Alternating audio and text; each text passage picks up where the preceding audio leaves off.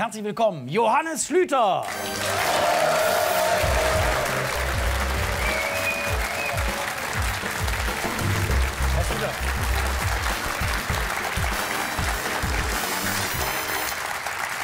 Herr Schlüter. Wir haben Angst.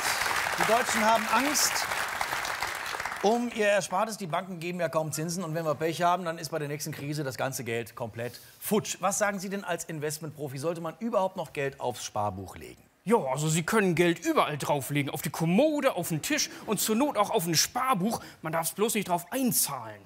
Ah ja.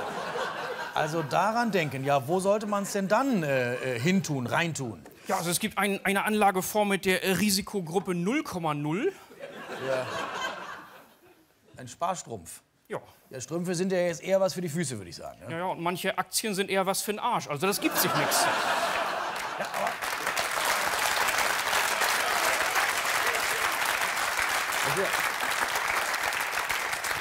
es, es, es muss ja irgendwas geben. Also wa- was gäbe es denn jetzt für Leute? Die wollen Geld anlegen. Was gibt es an, an sicheren und einigermaßen lukrativen Anlageformen? Ja, also alles mit einer garantierten Wertsteigerung. Also alles, was mit Sicherheit teurer wird. Strom zum Beispiel. Also jetzt in, in den Windpark investieren. Ja, nee, nicht ganz. Sie können Ihre Altersvorsorge auch mit diesen Kompaktstromspeichern bestreiten. Ja. Batterien. Wissen Sie den Unterschied zwischen einer Batterie und einer griechischen Staatsanleihe? Nein. Die Batterie hat auch eine positive Seite.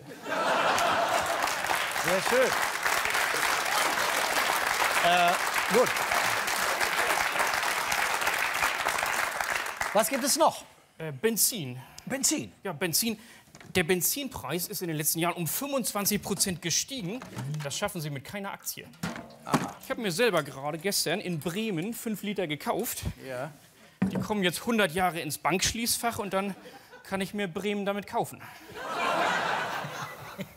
Also es funktioniert mit allem, was teurer wird. Könnte auch mit Zigaretten funktionieren. Die werden auch immer teurer. Ja, korrekt. Also theoretisch ist die Lunge von Helmut Schmidt mehr wert als Fort Knox.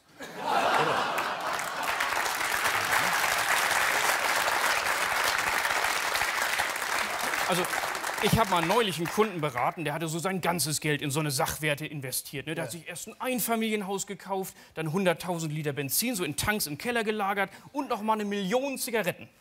Und da würden Sie jetzt sagen, das ist eine sichere Anlageform. Ja, also er hätte bloß nicht versuchen sollen, eine von den Zigaretten im Keller zu rauchen.